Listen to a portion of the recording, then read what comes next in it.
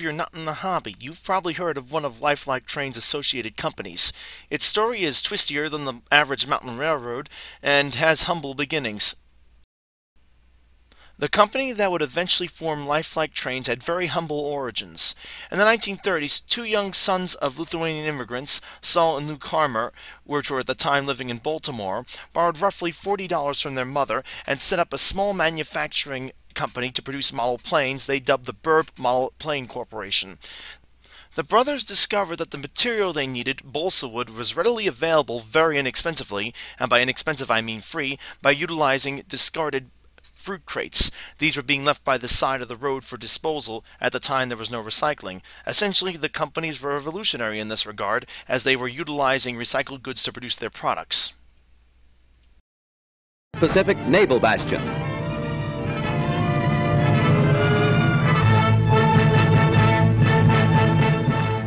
On December 7, 1941, Japan, like its infamous Axis partners, struck first and declared... Thanks to their extremely efficient method of gaining materials and other such clever maneuvers, the company by the time World War II had reached the United States doorstep had over 200 models.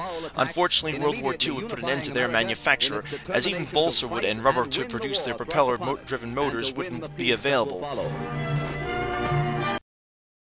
Once World War II came to an end, the company's interests would diversify drastically from model cars to fishing tackle. While model trains wouldn't be their first move out of World War II, it would prove to be a very profitable area the company would focus more on as time went on. Many of these were demolished beyond repair. One item that would prove highly profitable the Karmers would get into was a natural moss grown in Norway called lichen. This could be dyed green and used for a wide variety of shrubbery for model train layouts.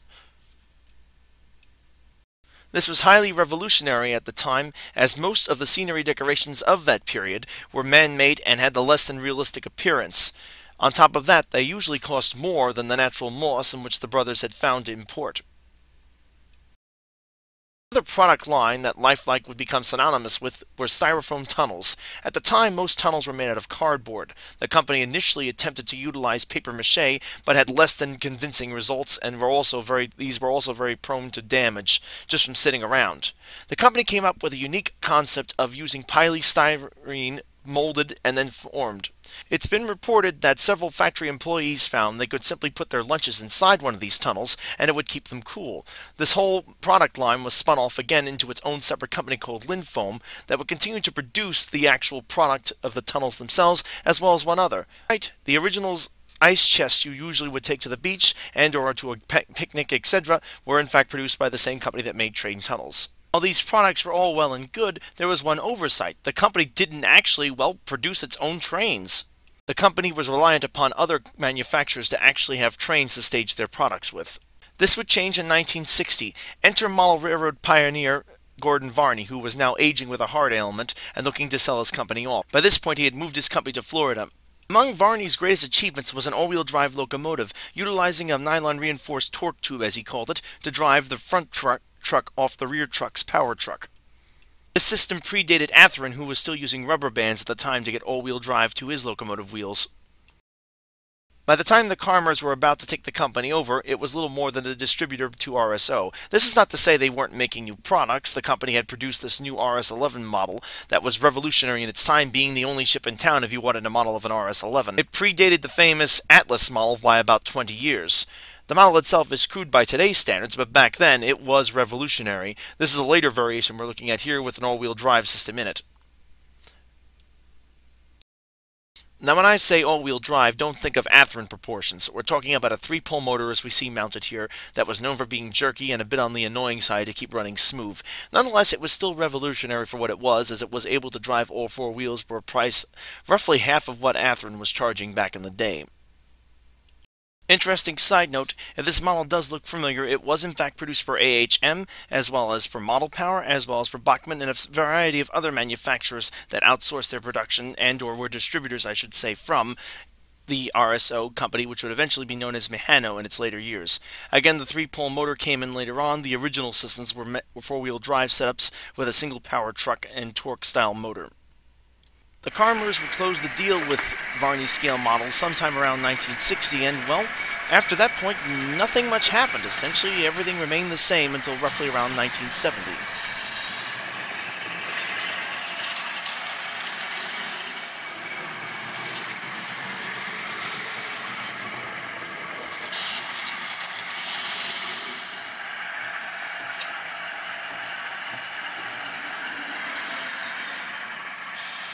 As we can see at slower speeds, this engine is very clearly a very reluctant runner at best. Admittedly, it isn't the cleanest operating example of this engine around, but it was not as smooth as you would get with the products such as Atlas and other such manufacturers. But bear in mind, for the time, it was a revolutionary product in itself. If you're wondering why this part of the video seems somewhat lacking in new content, it's because, well, nothing really happened to Varney scale models, except for unfortunately Gordon Varney dying of his heart ailment in 1965. It would take until 1970 before the company was actually acknowledged as being a lifelike company property and being rechristened Lifelike Trains. This is one of their first models, an F7 unit in the spirit of 76 colors. This particular set was part of a set that I acquired, of all places, in Baltimore when I went to visit my aunt and uncle several years ago now, while these early models were essentially not much different from what had come before from Varney scale models, this would change. In 1973, Saul Karmer would eventually come into contact with Wang Sing Ting, an industry leader in model type production of electric motors, etc., which would eventually form what would become known as Sanda Kan. This particular manufacturing company would eventually redesign the whole drivetrain. This particular locomotive again predates that. Think. As you can see underneath the hood now, the model itself has a very unusual motor style setup. It is exact a standard can motor, but not in the way we're thinking of the usual pancake designs. This actually had a habit of running much better than what those later pancakes would be. At any rate, it has one gear on the top here from the motor going down to a gear on the truck, which in turn drives these four plastic wheels.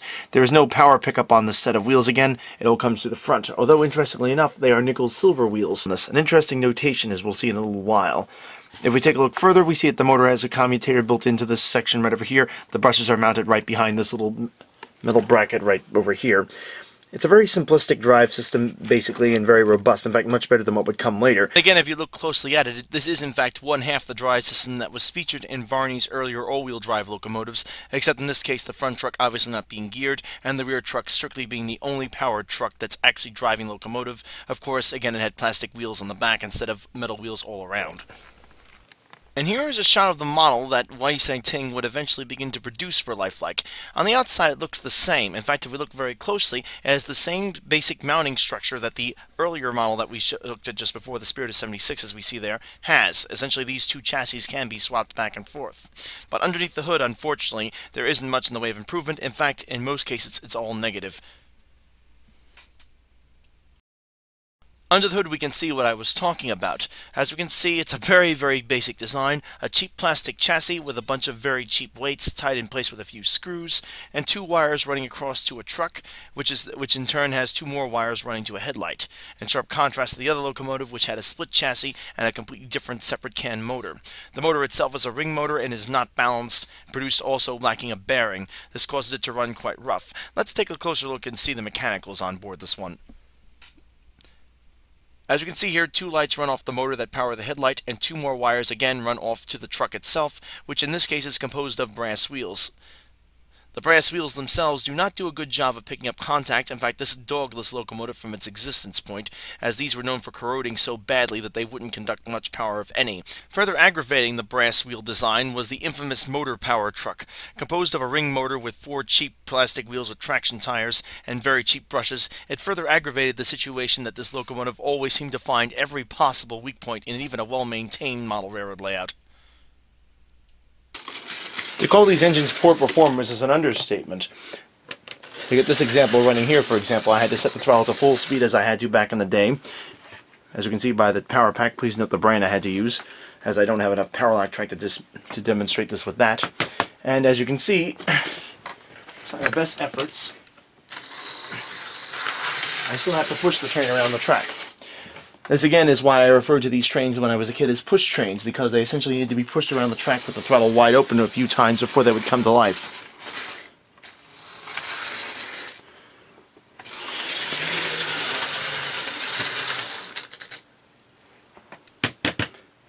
And yes, the track is clean.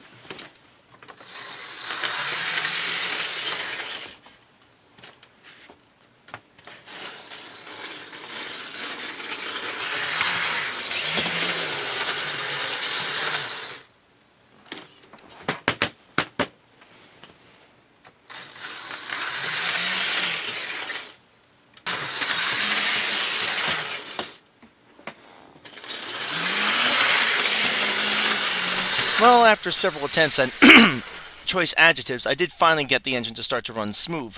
Although, again, even then, it wasn't running the way it was supposed to, as we'll see in a second here.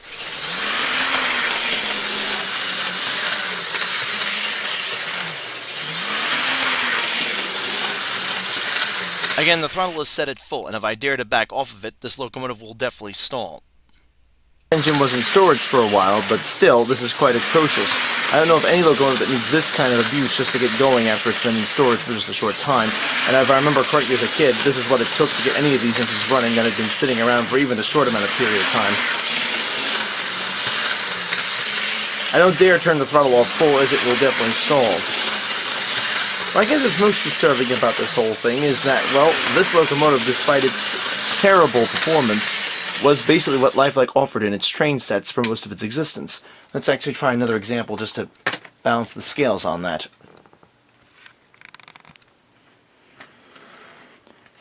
Getting one of these engines to go was a challenge to put it mildly. For the most part, these engines weren't built to the highest standards to begin with, and any kind of sitting, even if they were sitting in a package for a while before the said child got them, well, that could basically have dramatic effects on them, as we can see here. At full throttle, th this train isn't going anywhere. In order to get this thing to run, I have to coax it by pushing it around the track a few times to get the motor to start to spin over.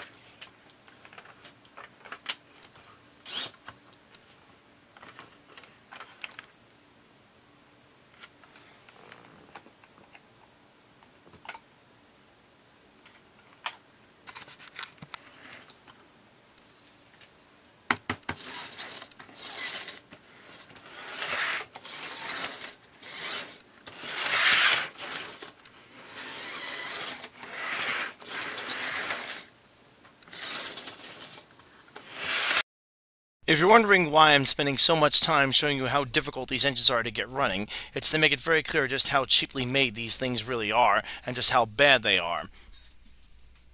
There really is no excuse for how poor these locomotives ran, and yet Lifelike did nothing about them for almost its entire period of existence. In fact, adding further insult to injury, these were the only locomotives the company sold outside of its train sets at that time. This would change later on. We'll get into more of that later. Admittedly, even to get those two locomotives to run as terribly as they did, I had to do a lot of cleaning and scraping on the wheels. Let's take a look at a different locomotive now from another make, Bachmann, and see how it works. Now again, this locomotive has not had any cleaning done, as you can see by all the dust on it. Let's see what this one does.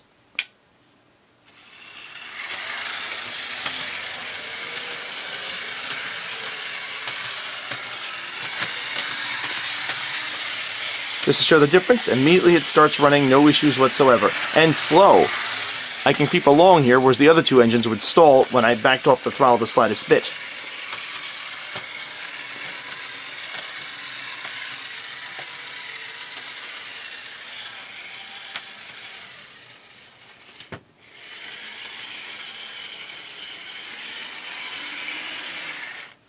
For a good explanation on for the reason for the discrepancy of why these engines run so drastically different, let's take a look under the hood.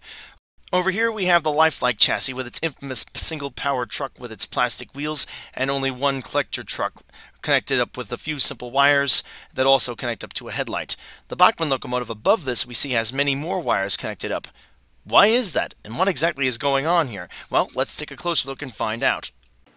Upon closer inspection, we see that the motors on the back, these pancake-style motors, appear to be exactly the same, but in fact they are in fact different. If we look closely on the top of the Lifelike, we have a hole here, and it's ever so slightly wider. The Bachmann, on the other hand, is the other Bachmann, on the other hand, is straight. It's got slightly, it's a slightly more narrow motor, and also does not have that hole in the top. Now, the rumor stating that this motor here that's in the Lifelike is basically a cast-off from, Kate from the Kader Group, which owns Bachmann. In fact, this is not the case.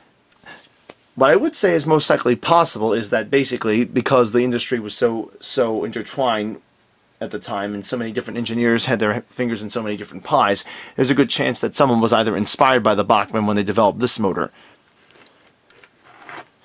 motor, at least at one point in its life. Or maybe just the opposite, as the Bachmann motor, I believe, wasn't even out at the time this motor was being built. This is actually the first company to come out with a pancake style motor, and Kader would later start producing it for their own brand when they cheapened their models. The Bachmann locomotives before this period actually had all wheel drive with a center point mounted motor in the middle of the engine itself, not like this one right over here. Underneath we can see the drastic difference between the two models, the Lifelike again with its single brass pickup truck, and the Bachmann again with all-wheel pickup and nickel-silver wheels. As we'll see, the nickel-silver give this locomotive a huge advantage. As we can see on the Bachmann locomotive, it has nickel-silver wheels all around. This helps to enhance conductivity, and these nickel-silver wheels at the same time aren't prone to corrosion, which meant that the engine was easier to get going. We also see that the wiring is actually going to all of the wheels, including the ones on the power truck. Now, while this makes for a lot more wiring and a bit of a mess on the top one might call it, in terms of the way all these wires are going in different directions, the end result is a smoother running engine that runs more reliably. The motor is also of a higher quality, quality as well. As we look at the Lifelike, we can see that the wiring system is very basic. There are basically two wires coming from the front motor truck, or power truck I should say, and going back to the motor truck, and two wires off the motor truck back to the headlight. That's it. And why is that? Well, if we turn it over, we see that this front truck here, as we see, is the only pickup truck, and it's co uh, composed of brass wheels. These are known to corrode, and they don't pick up power as well as the nickel-silver wheels. And again, this is the only pickup section, so much more stress and much more basically demand is put on this truck and if the wheels aren't perfectly clean it's going to show up much it's going to be much more sensitive to unstable track and bed conductivity further insulting the whole thing as well the back truck isn't even made of metal. The wheel, the wheels, I should say, are not even made of metal. It has plastic traction tires. Uh, rather, it has plastic wheels with plastic with uh, rubber traction tires. Again, plastic wheels on a power truck.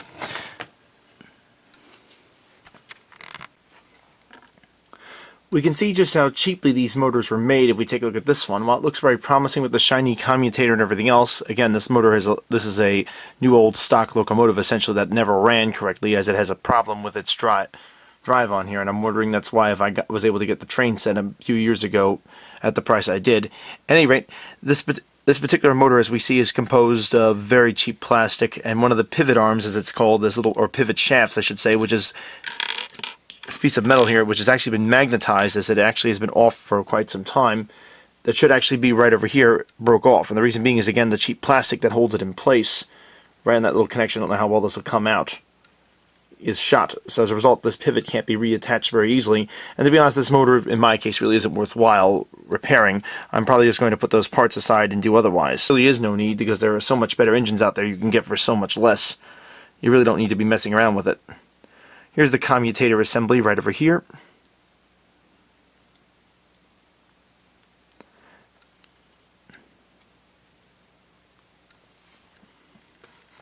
See that?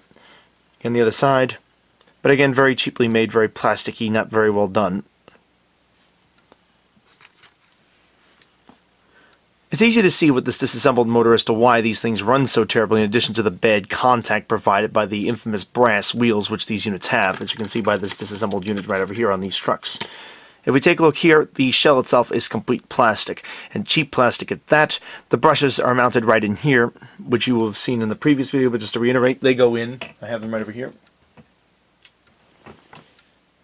They go into these holes right here, which is where the commutator is behind. This spins and provides power. Now, while this looks nice and shiny, it's not very well manufactured, I assure you. We see here, there are some imitation uh, metals used on the side here. It appears to get the commutator to function. Uh, the weight is not an actual piece of metal. It's some cheap knockoff of metal. Now, these brushes aren't the worst I've ever seen, but they're not the greatest either. In fact, they're nowhere near the greatest but they're not the worst problem what this motor has. And that problem has nothing to do so much with its build quality. It has to do with the fact that Lifelike made this motor completely unchanged for pretty much its entire history of making train sets, with the exception of the earlier era, as I showed you before with the earlier drive setup. This was there. This was there. It stayed, stayed, and stayed. And there were no attempts made ever to upgrade this, except for some minor attempts with Walthers when they took the company over. As for this motor, as you can see, it's just a part source. I can just use this basically now to explore things better. The commutators we pull out very carefully here. Again, is attached inside. This is the bearing on the other side that makes contact with the base. Like that. There's a washer that prevents it from grinding against the shell. And inside the motor case, we can see the cheap plastic again that was used to do this. It really is unfortunate how badly these things were assembled. But unfortunately, it's what you had to put up with if you had a lifelike train set. It should also be noted that the company did produce steam engines too, although these might look pretty familiar to the average experienced model railroader in the crowd. I'll go into that in a bit. Right over here we have an 040 dockside style steam switch engine with a style tender.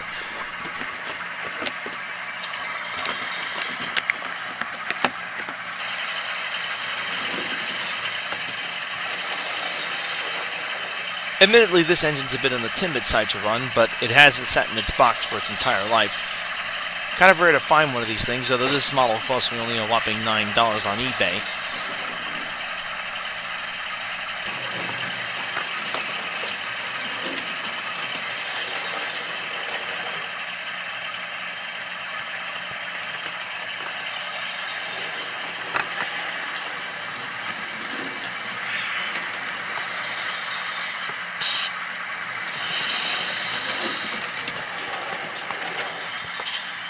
And here again we have another 040, in this case a tank engine. Now if you haven't figured it out by this point, yes, this engine and the previous one were both in Varney's catalog before the company was bought out by Lifelike, and essentially they would remain in production throughout Lifelike's lifetime. Of course, as far as I could tell toward the end of the company's life, they were reduced in the numbers available.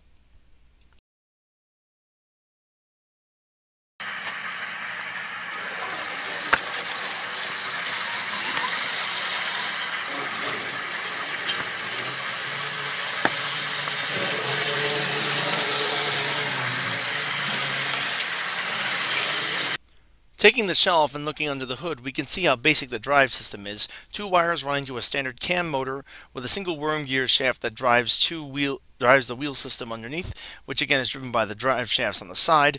All wheels pick up power, all wheels drive.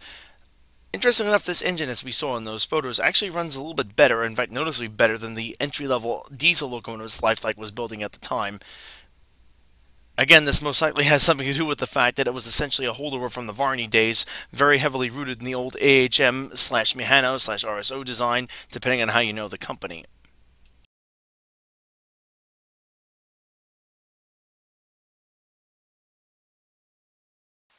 Over here we have an interesting specimen. This is actually a rail carrying, uh, uh, auto carrying car, I should say, that I had when I was a kid. Looks distinctively retro with this top and lower auto carrying style rack. This has long since been, been taken out of use in the United States because, well, people like to throw rocks at them, unfortunately, and because of other security issues. Now, this one I had back in the 90s or late 80s. Actually, early 90s, I think I got this, and it took a trip to the concrete floor and broke. I had one very similar to this that I used to run on my layout. That's even in one of my earlier videos if you want to look at that. And now I'd like to do something kind of special. I'd like to unbox exactly what became of this and what became the brand new replacement for this design by Lifelike that we took over for this position for this product. And well, here goes nothing. And what a shock, it looks exactly the same. Again, this is the same sort of not caring about it, maybe not caring so much, but sort of build things as they were. If it ain't broke, don't fix it. Although in reality, these cars were broken before they even got off the assembly lines. Cheap plastic wheels, cheap plastic construction. They did pretty well considering what they were, but there was nothing here to write home to mom about. It's unfortunate, but this thing, yet again, as with everything else, stayed in production until the end of the train set production years. And here we have some scenery items that we used throughout Lifelike's existence. Again, nothing was done to change it, except the packaging was revised. We have a manufacturing company, see here we have this little screen scene master crane setup. Again, nothing changed on this. They just changed the packaging on them. We got some dump trucks, good for the construction site that is included in this. Never did find the other one. Again, this all came from one of their train sets, the Elevated City train set. And over here we have the Downtown Business Center, which I own one of these already on my layout. Those of you who've seen my live sessions may have noticed it in the Seacliff Yard area where I usually start all of my sessions, where my main yard is located. As a Pulling Valley, small Italian restaurant, and a few other nice little things. I guess even even uh, scale-made figures have to have, have someplace to go for fun. And the interesting thing again about all these things, and I'd love to show you further info on them and give you more info as to how they matured over the years, but well, they didn't. Essentially, yet again, I know I sound like a broken record, they remained completely stagnant. Th those are what they had, and that's what they stuck with. No changes were ever made to any of the scenery items whatsoever. Just the packaging. That's it. And quite pathetically, if I do say so myself. And here is again another one of these ubiquitous items they offered, this flashing storage tank. I also have one of these things which is also a uh, railroad tower. I don't know where I put that one, but I'm going to have to probably find it for my yard as I'd love to have one in place since I do have a very detailed yard. Again, same story here again. The packaging changed. This, I think, was the last generation of packaging these units had before they were finally phased out. Let's talk about the operating accessories the company had. This is one of my favorites, if not my favorite. It's a vintage version of their logging mill, which you could get with several different train sets and was again sold right through the history of the company. In fact, if we take a look at the next clip right over here, we see that, yep, it was available right until the end, only with different packaging. Exact same kit, exact same stuff. Still fun to play with, but come on, guys, seriously? And then there were these log dumpers and gravel dumpers. I had one of each of these at least. In fact, I think I had two of the log dumpers. I used to love pulling the train up and pulling the lever and watching the logs get dumped. As simple as this was, as a kid, it was really enjoyable. But again, the principal problem was, well, nothing changed. They were exactly the same accessories straight through till the end. Now, if it sounds like there's a consistent theme going on here, you'd be right. All the train sets, all the accessories, etc., were essentially the same stuff being repackaged with new packaging, and, or in the case of the train sets, with new varieties put together to form one set.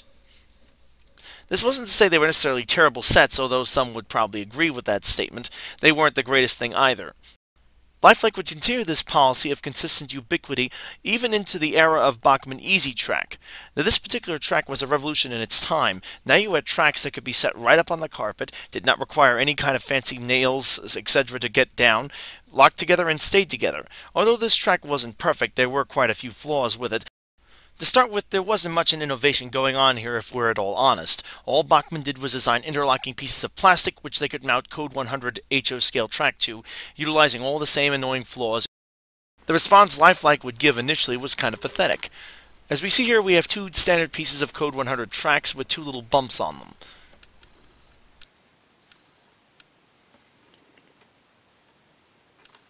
After slipping the two tracks together, as we see here, the corresponding links hook right into the plastic shell itself, which in turn can be placed right in between the two tracks and holds them rigidly together, as we'll see in a second here.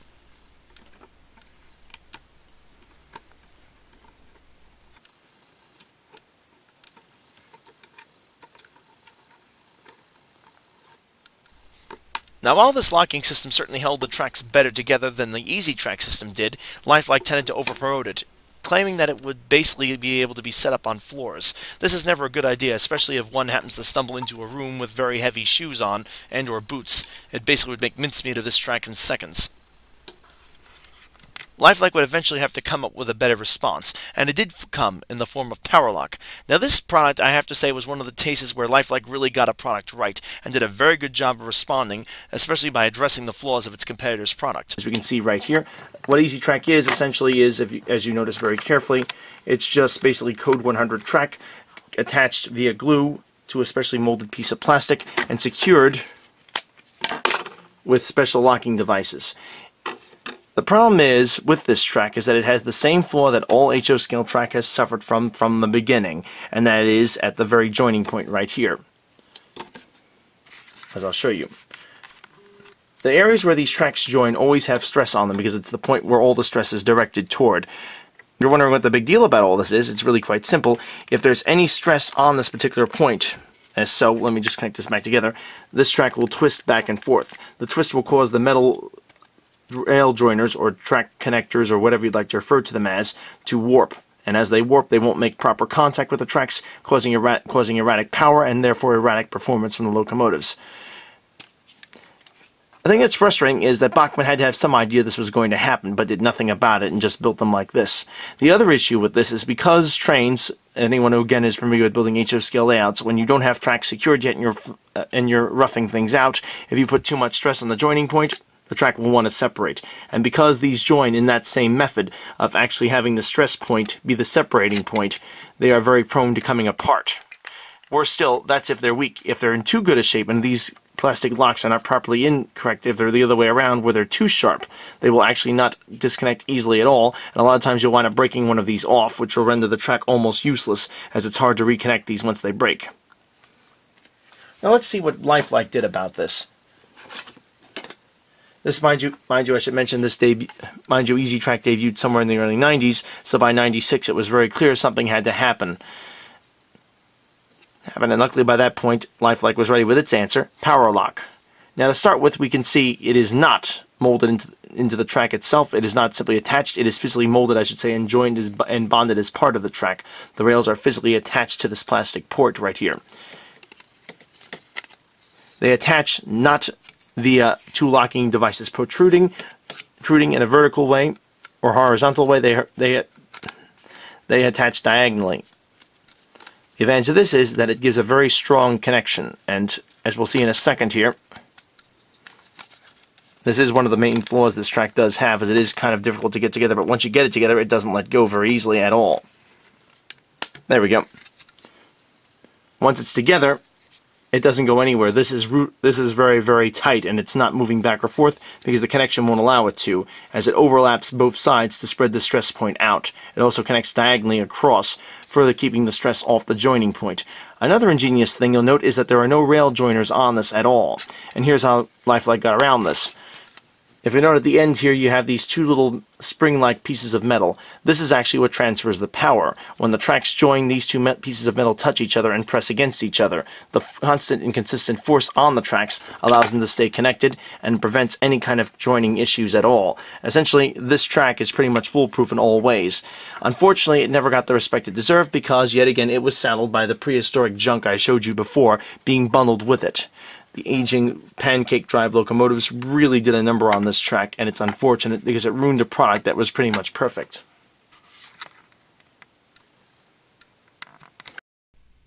And that's exactly what Lifelike did. They repackaged the same old stuff with this new revolutionary track that really deserved better. Here are a few of my favorites. The Iron Burning Rubber. Ooh, I remember the Freight Challenger. Yeah, Railmaster, that was a pretty decent set. Drooled over it a couple times. Oh yeah, that was a classic. I always wanted the Freightline USA model. Oh, and yes, the burning rubber. Oh, did I ever want slot car? Still haven't gotten one of those. Gotta get one of these one of these days. Oh, and yes, the roaring diesel with its sound effects. Wow, I really wish I had gotten those sets. In fact, I wonder why I never did.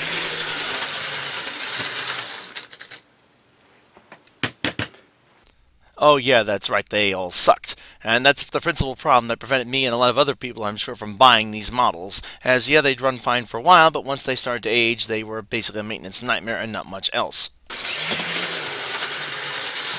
Even more shocking than all of this was the fact that Lifelike continued to market these locomotives separately, even though they really, really led quite a bit to be desired, as if the company was delusional about what it was selling.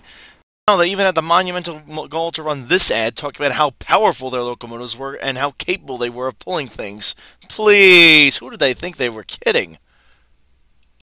In case you're wondering why I stuck with Lifelike trains despite their quality problems as a kid, it's really quite simple. They were very accessible. You could get them at uh, your local Toys R Us. In fact, their entire catalog of accessories and even bespoke train sets were available at Toys R Us, this one costing like $25 back in the day.